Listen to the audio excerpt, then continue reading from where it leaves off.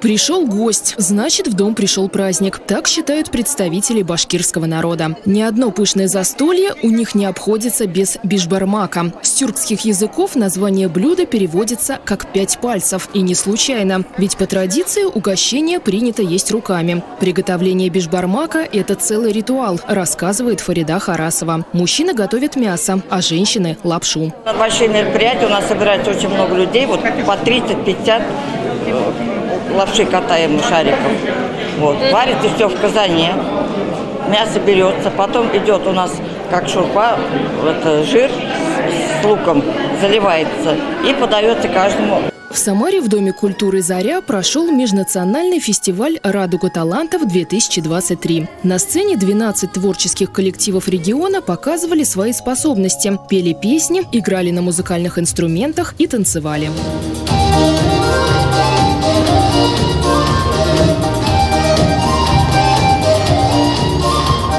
Фестивальные мероприятия – это всегда возможность для коллективов и исполнителей поднять собственный творческий уровень, а, пообщаться с коллегами. Ведь основная задача фестиваля – это сохранение языка, культуры, традиций народов, которые проживают в нашем городе.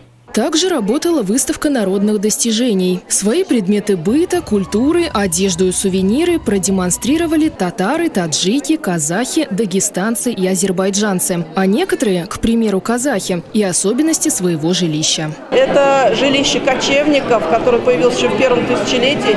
Э, юрта – это наша гордость, наше достояние. Она символизирует э, благополучие в доме, достаток в доме. Задача таких праздников – продемонстрировать богатство культуры разных народов, которые должны ценить и уважать друг друга и жить в мире. На выставку люди пришли, более взрослые поколения пришли, которые могут посмотреть на э, таланты наши, на таланты детей, таланты вообще взрослых. Вот поэтому я очень рада, что сегодня проходит это мероприятие. Я хочу, чтобы часто были вот такие фестивали «Дружба народов», чтобы каждый народ друг друга видели, какой народ какая одежда носит, на каком языке разговаривает. Это очень интересно. Фестиваль прошел при поддержке Министерства культуры Самарской области, администрации города и Дома дружбы народов. Ксения Баканова, Николай Сидоров. События.